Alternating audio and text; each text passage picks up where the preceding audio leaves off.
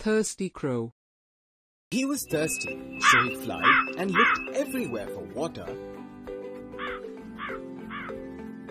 but could not find it. Soon, he found a pitcher with little water in it. The water level was very low, just at the bottom of the pitcher, and his beak was too small to reach water.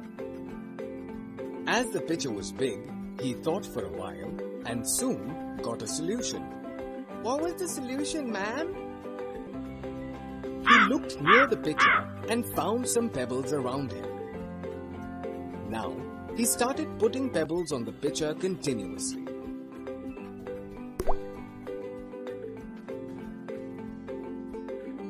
After many attempts, the level of water raised.